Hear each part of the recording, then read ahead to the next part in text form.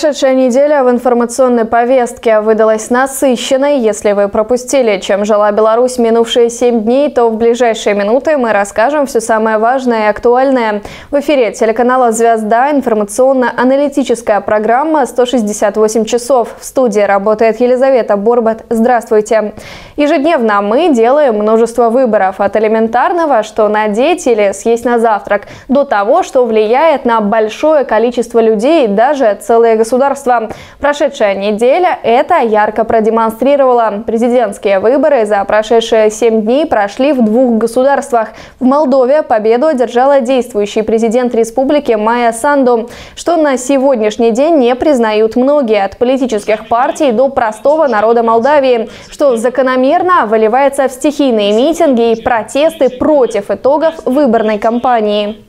В Молдове происходящее э, можно описать двумя словами. Это повторение одних и тех же сценариев. Прозападный лидер страны, который изначально прозападный, он уже долгое время там находится, естественно, он окопался и с помощью своих, э, так скажем, хозяев, да, э, как мы видели, да, неожиданно приобрел перевес голосов.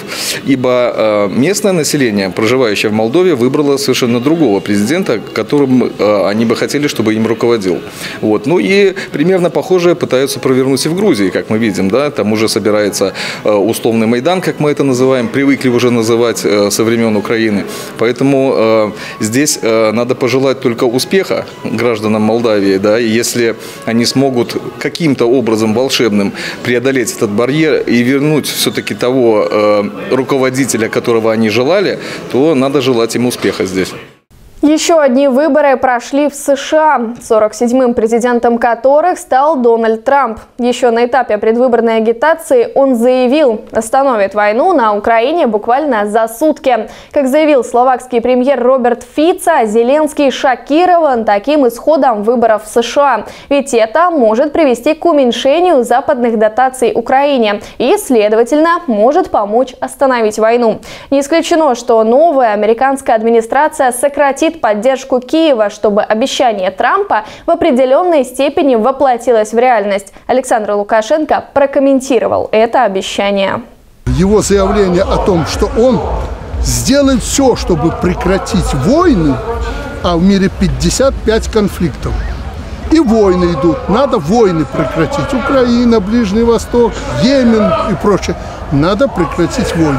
Если это сделает, то мы с тобой направим петицию в эту Нобелевскую премию и ему присвоим за то, что он сделал э, доброе дело, а не так, как одному из президентов, не называю его фамилию, он тоже крепкий мужик, я с ним знаком, ему сразу дали Нобелевскую премию мира.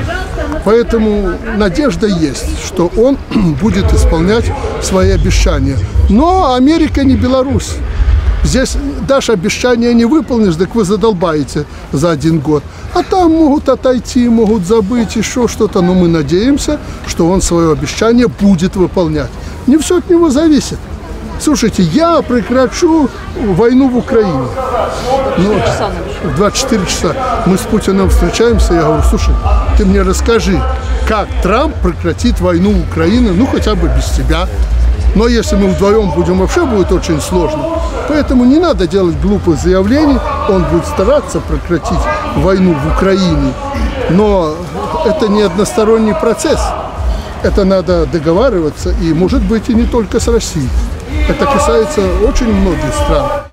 К организации электорального процесса в США также немало вопросов. К примеру, в Калифорнии сотрудникам избирательной комиссии было запрещено проверять документы у голосующих. Работники одного из участков не стали проверять документы у избирателя даже после того, как он засомневался в дате своего рождения. В Мэриленде избиратели жаловались, что машины ошибочно зачисляли голоса не тем кандидатам. Из-за неисправности оборудования для бюллетеней в Аризоне часть избирателей избирателей также не смогла проголосовать. Как сообщается, три четверти американцев обеспокоены вероятностью всплеска насилия в Штатах.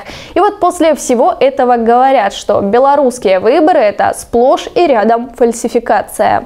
Эталон дипломатии демократии – это именно белорусская. Избирательная система и вообще белорусское общество.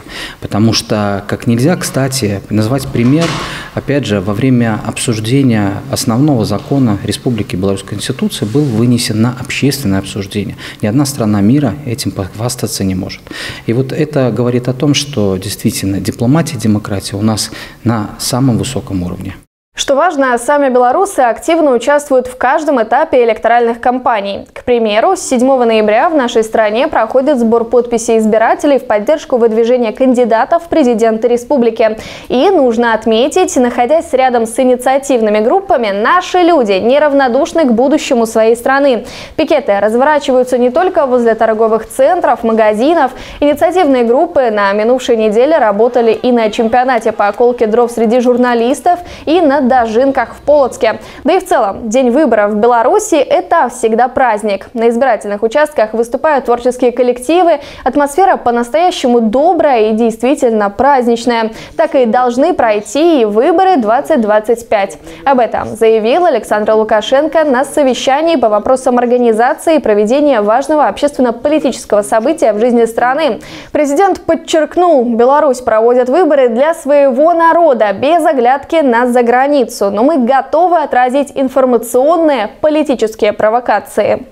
Что касается провокаций информационных, политических и прочих, возможно, они были, есть и будут. Просто не надо расслабляться. Ах, у нас общество такое, эти отмороженные самые, они сбежали и прочее. Хватает в обществе разных людей. И расслабляться здесь никому ни в коем случае не надо. Особенно нам, органам власти на местах. Надо исходить из лучшего варианта. Будет лучше, ну и хорошо. Мы будем вас э, регулярно, губернатору, информировать о ситуации, э, наиболее опасные, если будут тенденции в обществе, мы также вас будем ориентировать. Но э, попытки раскачать ситуацию – Некоторые говорят, вот они к 30 году там готовятся этот год. Понятно, они могут говорить одно, а предпринимать другие меры. Но об этом Иван Станиславович э, сегодня скажет. Они уже вырабатывают планы, как им действовать. Правда, в основном-то градус напряжения создается за пределами страны. Они разобраться там не могут, какую тактику им выработать. Э, ну, думаю, подскажут. Там же разумных много вокруг. И деньги дадут на это но должны понимать, что просто так э, говорить в средствах массовой информации время ушло. Они это понимают. Поэтому они готовы и к радикальным действиям. Значит, и мы в ответ должны быть готовы предпринимать адекватные действия. Наступает весьма ответственное время для каждого из нас. И речь не столько об электоральной кампании. Совсем скоро начнется новая пятилетка. Сейчас необходимо подвести итоги уже сделанному и определить, куда двигаться дальше. Экономика страны демонстрирует достойные результаты, несмотря на санкции. Мы продолжаем развивать производство, чему в том числе способствует программа «Один район, один проект». Прокладываем и ремонтируем дороги, открываем новые социальные объекты. На минувшей минувшей неделе Беларусь отметила День Октябрьской революции. Традиционно в преддверии этого праздника белорусский народ получает подарки. К примеру, в Минске 6 ноября открыли бассейн международного стандарта. Он строился с 2020 года. Проект реализовала китайская сторона в соответствии с техническими требованиями и нормами КНР и соблюдением технических требований и критериев Международной Федерации плавания. Объект соответствует всем требованиям для проведения на его базе чемпионата чемпионатов мира и Европы по водным видам спорта. Его также будут использовать в качестве современной учебно-тренировочной базы для подготовки национальных команд Беларуси. Глава государства отметил социальную значимость объекта и подчеркнул, идеология которой придерживается наша страна, получает стремительное развитие на международной арене. Сегодня о социализме все больше и больше начинают говорить. Если в середине 90-х, я помню, просто топтали ногами все эти определения. Правда, и в Америке сегодня это матерное слово.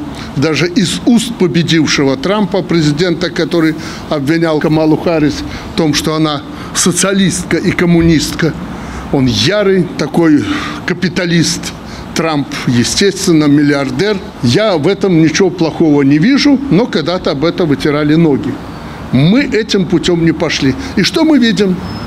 Европа вся ориентируется на социализм, не называя, может, его так, но говорит о социальной справедливости. Мы сразу сказали, что мы строим социально ориентированное государство. Это основной принцип социализма. И наши друзья китайские никогда от этого не отказывались. Должен откровенно сказать, что это не моя заслуга. Я попросил, поговорил со своим другом, а благодаря ему большому другу белорусского народа Си Цзиньпину мы построили этот объект. В ближайшее время вы увидите в Минске еще одно чудо, наверное, более значимое, правда, для футболистов. Я боюсь даже сегодня произносить это. Все, жду, жду, жду. Печаль полная. Правда, и хоккей туда уже начинает э, клониться. Ну, может, поплывем? По крайней мере, уже человек семь сильно о себе заявили. Ребята, для того, чтобы стать чемпионами мира, здесь есть все. И не только здесь. Мы же не первый этот дворец водных видов построили. Я помню, мы в Бресте шикарный дворец построили. Плавайте, завоевывайте медали. Еще одно торжественное открытие в преддверии Дня Октябрьской революции прошло в Полоцком районе. 6 ноября здесь открыли движение по 30-километровому участку трассы Р-46. Масштабные работы завершились на 5 месяцев раньше заявленных сроков. Напомню, реконструкция магистрали Лепель-Полоцк границы Российской Федерации проходит согласно поручению президента Беларуси Александра Лукашенко и в рамках государственной инвестпрограммы. Проведенные на этом участке Р-46 работы – весомый вклад в обновление и развитие транспортного коридора, общая протяженность протяженность которого составляет более 760 километров. Зачастую не надо слов, зачастую надо просто показать, что делается у нас в стране. Вот. Чтобы люди приезжали, проезжали по этим прекрасным дорогам и понимали, как развивается наша страна, как у нас все прекрасно, и действительно политика президента, политика государства направлена на людей. Дорога – это комфорт, дорога – это часть жизни людей, которые действительно, многие из них проводят значительную часть своей жизни, и э, это необходимо делать с комфортом. А еще в преддверии Дня Октябрьской революции в агрогородок Ломаши Глубокского района провели природный газ. На голубое топливо здесь перевели 38 квартир, создали два кооператива по газификации. Потенциальными потребителями природного газа являются 190 одноквартирных жилых домов, зерносушильный комплекс и молочная ферма хозяйства Ломаши Агро, а также котельная местного ЖКХ. Агрогородок стал четвертым в Глубокском районе и 140-м в Витебске Витебской области, куда пришло голубое топливо. Жизнь становится комфортнее и современнее. Это очень важно. Меня это событие касается напрямую, потому что я живу на улице Школьной, которая первая подключается вот э, к природному газу. И у нас газовые плиты уже работают на голубом топливе.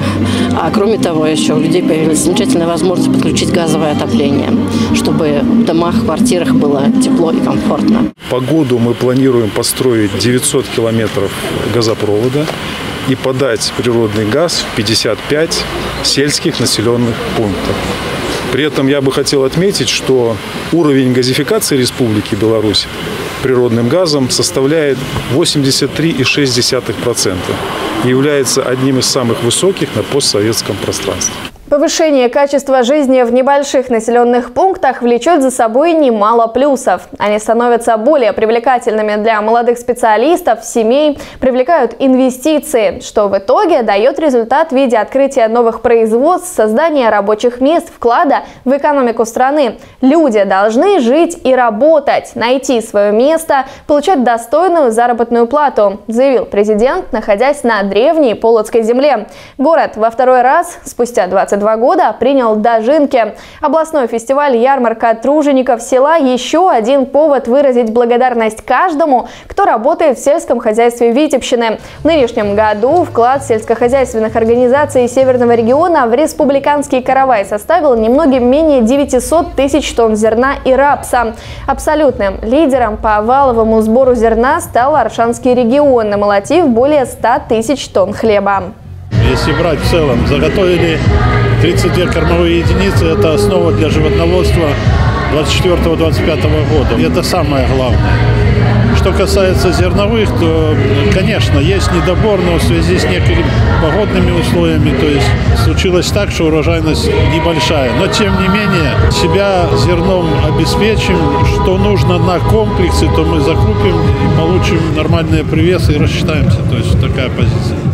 Как отметил президент, стремиться хлеборобам Витебщины однозначно есть к чему. Наш ответ на все происки – созидание, наш фронт – экономика, а для сельчан прежде всего хлебная нива. Хлеб во все времена был самой твердой валютой. Именно поэтому результаты в земледелии – важнейший вклад в обеспечение продовольственной и, следовательно, национальной безопасности. В этом году Витебщина намолотила около 900 тысяч тонн но до своей базовой задачи, минимум миллион тонн, мы не дотянули. Если брать зерно, неплохо сработали по кукурузе, плюс 100 тысяч тонн к прошлому году. По урожайности этой культуры даже чуть не обошли тьфу -тьфу -тьфу, Гродницу. Вышли на второе место по стране, ну, если это правда. Думаю, правда. 90 центнеров – с гектара. Ну а по зерновым у вас там где-то чуть больше 20. Вот и сравнивайте. 20 и 90. Это выше даже, чем в среднем по республике. О чем это говорит? Это говорит о том, что вы можете. Вот с губернатором на подъезде обсуждали вопросы. Я ему прямо сказал, витебчане могут все даже если вы плохо строите комплексы, там не можете на простой стройке развернуться, это не потому, что вы не умеете делать. Это потому, что кто-то не хочет. Или наплевательски относится к решению тех вопросов, которые сегодня надо решать. А делать в Витебске, Полоцке, других городах и селах Витебщины умеют абсолютно все. По кукурузе я предупреждал ваших специалистов. Если вы посеяли, высеваете кукурузы 120, к примеру, тысяч гектар, а хотите 150, потому что 90 центнеров урожайность, нельзя так шагать. Добавляйте понемножку. Витебщина не та территория, где можно в два раза бабахнуть посевы, а потом все не убрать. Погода не позволит или еще что-то. Поэтому имеете 9 тонн с гектара кукурузы? Хорошо, добавляйте понемногу. И там, где вы сможете обработать. Я не хочу сегодня заниматься критикой. Где-то весной, в марте месяце, как обычно, мы соберемся и обсудим, что вы сделали, что не сделали, и окончательно определимся, что же делать с Витебской областью.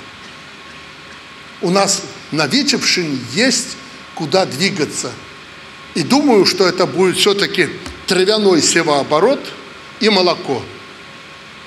Получать зерно на севере, севернее Полоцка, Витебска, наверное, это авантюра. У нас не получается.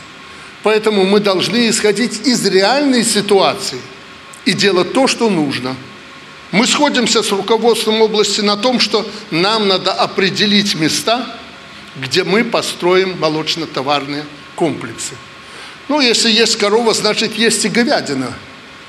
Бычков на откорм, телочек для воспроизводства и так далее, будущие коровы, доим молоко. И под это должна быть кормовая база, комплекс и энное количество гектар, исходя из вашего плодородия, вокруг комплекса. Отдельно глава государства остановился на вопросе создания объединенных хозяйств. Витебщина первой вступила в эту программу в 2016 году. Сегодня в шесть таких объединенных структур входит порядка 130 сельхозпредприятий региона. В них было заложено много новаций и преференций от сырьевых зон и экономических стимулов переработки до особенностей кадровой политики. Как основа этому эксперименту суждено продолжаться дальше. И вот это время до 1 марта, которое было обозначено в течение пяти месяцев, мы должны выработать э, четкую стратегию, э, как будем действовать в следующие 2-3 года, чтобы примерно к 2027 году э, мы полностью понимали стратегию Витебщины и по земледению, то есть растениеводству, потому что сегодня тоже прозвучали очень важные вещи. Витебщина должна, ну, с учетом того, что в этом году хорошо получилось, лучше работать с кормами и больше работать с кормами наверное, часть площадей э, сельскохозяйственных земель перераспределить под э, травы, под наши травы, определить вот эти элементы севооборота правильного.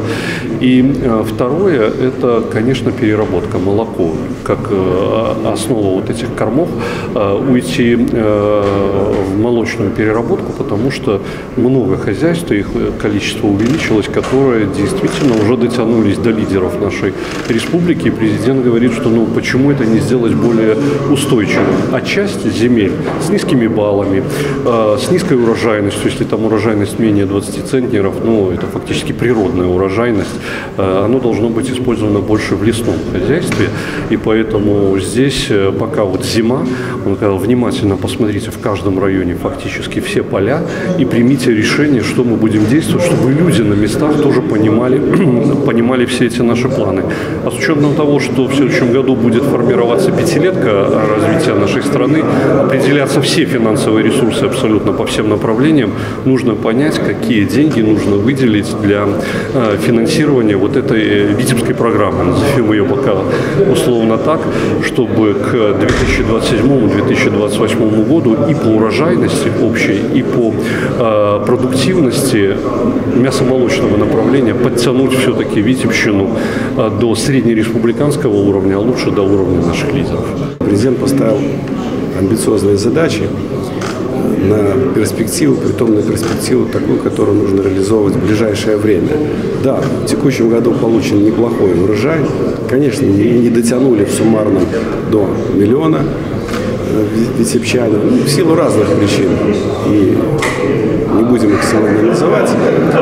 Надо прибавить и в организации, и в технологии возделывания земли, определиться с культурами, то, что, то, о чем сегодня говорил глава государства. Но самое главное, что сегодня здесь есть люди, есть трудовые коллективы, есть э, те коллективы, которые можно сегодня назвать и маяками, и школы мастерства.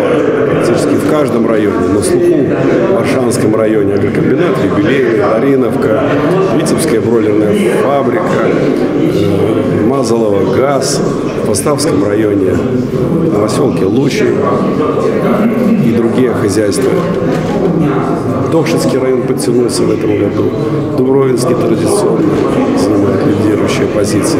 То есть есть определенная база, есть вот эти мощные хозяйства, которые должны передавать опыт другим и концентрировать вокруг себя. На Витебщине свою эффективность показал эксперимент с соей. На первых 100 гектарах получена урожайность 30 центнеров с гектара. Глава государства также поставил задачу за пятилетку удвоить экспорт и продажи льняной продукции. Но здесь, как и во многих других сферах, необходим прорыв от самих аграриев, ученых, инженеров. Как бы сложно ни было, лен все-таки наш национальный символ. На государственном гербе изображен – но опять же, дело даже не в этом. Беларусь всегда была среди мировых лидеров по возделыванию льна, производству продукции из него. А Витебщина была флагманом этой отрасли. Лен – непростая культура.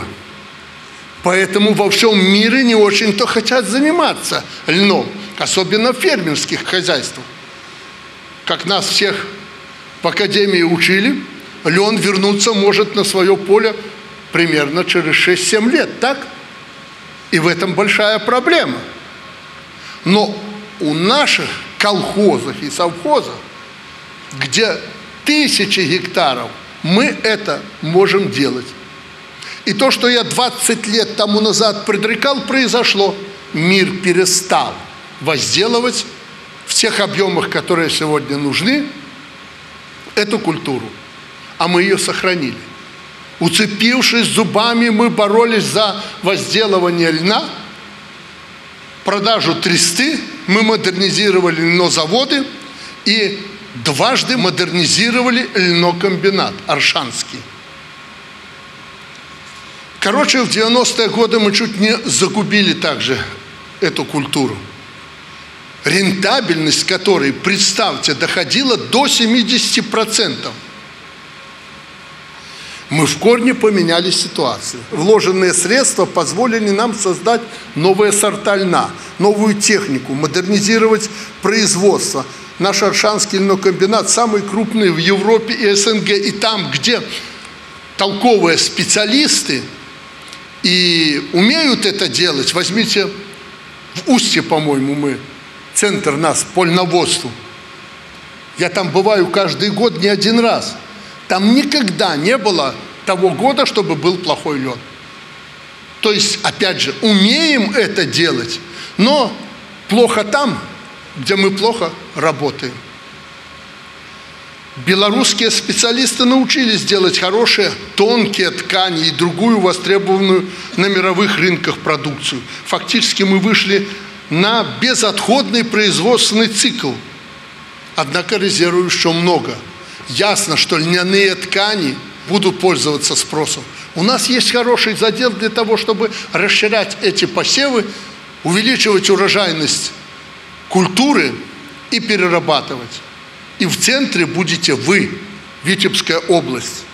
Холодный климат, сложные почвы, недостаток ископаемых углеводородов мы компенсируем тем, в чем особенно сильны – трудолюбием и интеллектом. Это касается всего государства. Наша страна и ее люди обладают огромным потенциалом. Современная Беларусь – это удачное соединение природных красот, богатой истории, традиций, технологичности. И, пожалуй, в центре всего находится наше сельское хозяйство. Поясню. Белорусский народ работает на земле с самого начала начала нашей государственности. Вся культура строится на этом. А в производстве сельскохозяйственных машин и комплектующих мы одни из мировых лидеров. Так что все начинается с земли, любви к ней и с людей, которые на ней работают. И, как говорится, будет хлеб, будет и песня. А на сегодня у меня все. Напомню, если вы что-то пропустили, наши программы можно просмотреть в социальных сетях и на YouTube-канале телеканала «Звезда». Спасибо за внимание, берегите себя и своих близких. До встречи в эфире через неделю.